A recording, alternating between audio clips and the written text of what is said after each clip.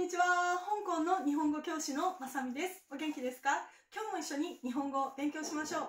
このビデオは中級の15課56番目のビデオ、もう一度聞こうですね。会話の授業の4番目です。今何をやっているかというと、これあこの教科書ね、みんなの日本語、大ーでやっぱりダジャーダルー。みんなの日本語の台湾バージョンの中級の3。でも同じあの15課の内容ですから、日本語の教科書をね、持っている人もね、安心してあの使って、扱ってじゃよかったら一緒に勉強してください。で、15課の会話のページなんですけど、これですね、この数日間ここ会話やってきました。今日この辺りをやりたいと思います。と、ではね、今日はいきなりやろうかな。うーんと、絨毯に関する知識、じゃこの辺りですね。イルワンさんを褒めています。あの、トルコ人の人がね、素晴らしい。お客さんを褒めるところです。今回の会話は、ビジネスシーンで、ネイティブの日本人だったら、今回イルワンさんとミラーさんが喋ってるんですけど、日本人、ネイティブの日本人がビジネスパートナーとアイスブレイキングトークだね、仲良くなるために、ちょっとこう、初めましてから、あ、じゃあよろしくバイバイじゃなくて、なんか少しこう、あの、なんていうかな、なんか相手のことを褒めたりするんですよね。で、褒められたら謙遜するという、そういうのね、これできるようになった方がいいと思います。特にあの、香港の人ね、あまりこういう会話をしないので、よかったら覚えてみてください。日本人の友達がいない理由って、もしかしたら初めて会った時のこういうのが上手じゃないから、日本の人があんまり興味を持ってくれていない可能性もあるかもしれないからです。やってみましょうね。ではですね、えっとね、今日は、えっと、ここから読んでいきます。中村課長のね、イルワンさんは今回日本の市場開拓、ここから読みます。一緒に読んでください。シャドーイングしてね。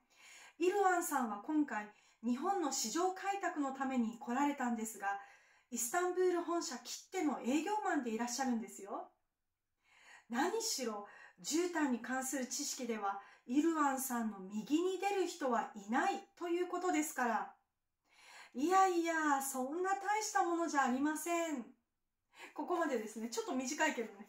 とね、絨毯に関する知識では、イルワンさんの右に出る人はいないということですから、なんですけど、何々に関する、今回文法のページでやったんですけど、何々に関するというのは、についての意味です。について、関於ね、about ね。を on ね。なので、と知識だね。knowledge on or knowledge about the carpets ね。絨毯に関する知識では、何々では、この、このフィールド、この分野、このフィールドでは、誰々さんの右に出る人はいない。これもセットフレーズで。今回のね、授業で何度か出てきてるんですけど、そのイルワンさんは1番だという意味で使います。イルワンさんがトップにいて、そのイルワンさん、あごめんなさい。うーん、ごめんなさい。びっくりしたでしょう。しかも消えちゃった。ごめん。ホワイトボードのペンがないので、このまま行きます。申し訳ない。ちょっと急いでるので、このまま行きます。で、イルワンさんがここトップにいて、イルワンさんの右や左に人がいない。つまり、イルワンさんはダントツでトップ。イルワンさんはこうトップグループじゃなくて、本当に一人だけでトップだという意味で、右に出る人はいないという意味で使います。あの、え知識だけではなくて技術とか、うん、そうですね、技術や知識、能力などであの使っていく言葉です。例えば、あ、あ、何々さんは日本語がととても上手ですから、何々さん、ただクラスでね、あ A さんは日本語がとても上手だから、このクラスでですね、このクラスで、イルワンさんの右、あ、イルワンさん、A さんの右に出る人はいない。で、ということです。ということですはどんな意味でしたか？うん、そう。聞きましたですよね。I heard ね。天銀はね、听说の意味で、ということです。伝文の表現です。なので、そうですと同じですね。と、右に出る人はいない。そうですから。からは理由のからね。いやいや、いやいや、この、この間のビデオだったら、イエーと同じです。いやいや、軽く、でもフォーマルです。いえいえ、ノーノーノー。で、そんな大したものじゃありません。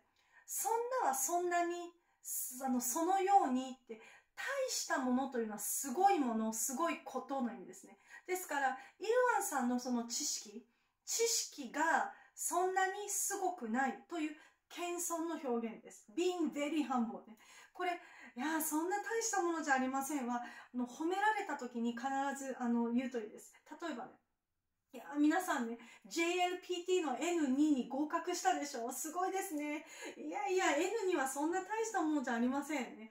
あの、N1 はもっと難しいですからとか、例えば、なんか、うんなんでしょう、なんかプログラミングする人がいて、わーね、あなたのね、プログラミングの技術はすごいですね。いえいえ、そんな大したものじゃありません。周りにはもっとね、上手な人がいますから、とか、このように、あの、謙遜するんですね。日本文化なので、その、えー、言葉が上手なだけではなくて、言葉を話すときには、その言葉が、あの、使われている文化をまた習慣を理解するのはとても大切なことだと思います。日本では褒められた時には謙遜した方がいいです。ただ、たくさん謙遜すると変なので、トゥーマッチだからね。あの、やりすぎは気をつけてください。でも、ちょっと謙遜した方がいいです。例えばね、わあ、綺麗ですね。いえいえ、あの、そんそんなことありません。ね、そんなことありません。